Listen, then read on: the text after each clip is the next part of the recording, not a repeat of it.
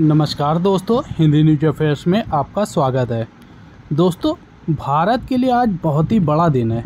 बहुत ही ज़्यादा खुशी का दिन है भारत के फाइनेंशियल तंत्र के लिए।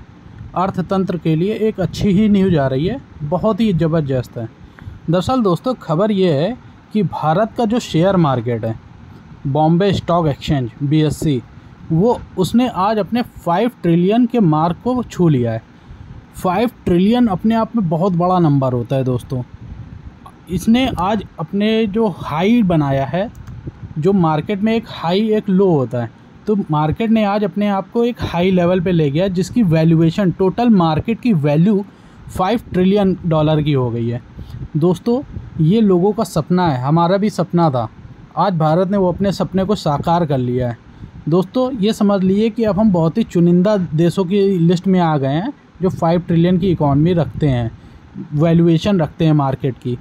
दोस्तों इससे कई चीज़ें क्लियर होती हैं। एक तो दोस्तों अभी या, आपको याद होगा प्रधानमंत्री नरेंद्र मोदी जी ने एक इंटरव्यू दिया था। उस इंटरव्यू में वो कह रहे थे कि अभी चार जून को जो लोकसभा चुनाव के रिज़ल्ट आने वाले हैं उस रिज़ल्ट के बाद स्टॉक मार्केट में आप देखिएगा एक अलग तरह की ही गति देखने को मिलेगी। दोस्तों उनका तो इंटरव्यू अभी आया है। और अभी चार जून अभी काफ़ी दूर है। उससे पहले ही ये मार्केट में एक ज़बरदस्त उछाल आ गया है और ये देखिए, इंडिया की जो मार्केट है, वो फाइव ट्रिलियन की मतलब बन गई है मार्केट वैल्यू। और अभी क्या है कि कुछ दिन पहले जबकि मार्केट थोड़ा सा स्लो चल रहा था, अभी चुनाव चल रहे थे तो वो थोड़ा सा स्लो चल रहा है। हालाँकि अभी भी चुनाव चल रहे हैं, लेकिन आज अचानक से जो न्यूज़ आई है, जो सामने से जो नंबर आए हैं स्टॉक एक्सचेंज के, उसमें देखने को मिला है कि भारत की जो नॉमिनल सॉरी जो मार्केट वैल्यू है बॉम्बे स्टॉक एक्सचेंज की, वो फाइव ट्रिलियन को क्रॉस कर गई है। अब दोस्तों, इसके मायने क्या क्या हैं? ये तो हो गया।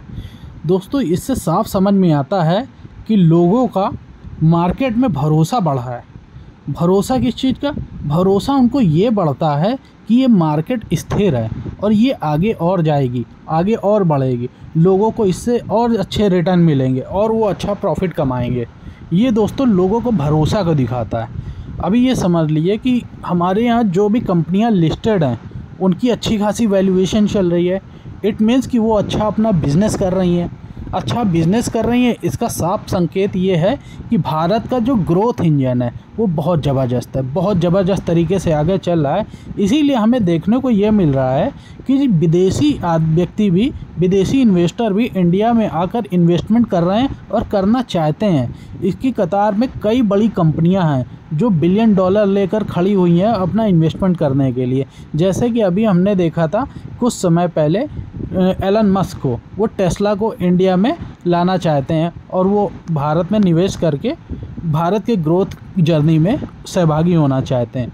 ऐसे ही दोस्तों, कई सेमीकंडक्टर कंपनीज़ हैं जो इंडिया में आके इन्वेस्टमेंट करना चाहती हैं और भारत के ग्रोथ इंजन में ग्रोथ जर्नी में शामिल होना चाहती हैं।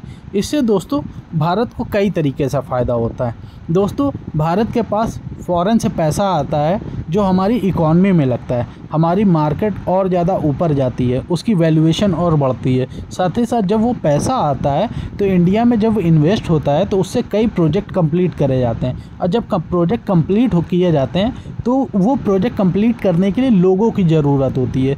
लोग उसको ज़रूरतों को कंप्लीट करने के लिए लोगों को रोज़गार मिलता है। इससे ये समझ लीजिए एक तो रोज़गार की समस्या ख़त्म होती है। दूसरा, हमारा जो प्रोजेक्ट कंप्लीट होता है और ख़ास करके इंफ्रास्ट्रक्चर के जो प्रोजेक्ट कंप्लीट होते हैं, उससे हमारा जो अर्थव्यवस्था का जो आगे बढ़ने का सिलसिला है, वो और ज़्यादा तेज़ बढ़ता है। उसको और ज़्यादा गति मिलती है। दोस्तों, ये भारत के लिए तो बहुत ही अच्छी खबर है। ये समझ लीजिए कि भारत के दोनों हाथों में लड्डू वाली बात है, क्योंकि एक तरफ़ तो भारत में इन्वेस्टमेंट आ रही है, दूसरों का पैसा आ रहा है। हम सोचिए, दूसरे का पैसा इंडिया में आ रहा है, उसी पैसे से हम अपना प्रोजेक्ट कंप्लीट करेंगे, हम अपने इंफ्रास्ट्रक्चर को ठीक कर रहे हैं, साथ ही साथ उसी पैसे से हम अपने यहाँ रोज़गार जनरेट कर रहे हैं, और उसी पैसे से जो रोज़गार आ रहा है, उसी से उन लोगों को सैलरी मिलने वाली है। दोस्तों, ये भारत के लिए बहुत ही बड़ी बात है। बहुत ही सिलेक्टेड लोगों में भारत आज शामिल हो चुका है। फाइव ट्रिलियन दोस्तों, ये सपना हुआ करता था। आज सोचिए, सपना जब साकार हो रहा है, भारत के लिए मतलब कितनी गर्व की बात है।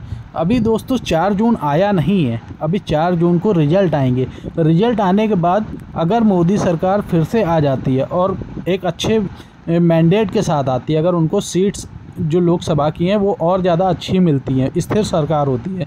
तो बनी हुई बात है, लोगों का विश्वास और ज़्यादा बढ़ेगा और इस मार्केट की वैल्यू और भी ज़्यादा बढ़ेगी।